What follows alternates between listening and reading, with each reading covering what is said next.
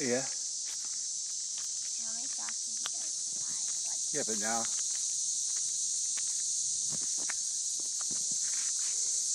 But, You know, this yeah, this doesn't get this doesn't pick up that much light. I mean, yeah, this. this Um, whoops. the guy at Chuck E. Cheese, remember? He was like, He was like, what? their brother and sister.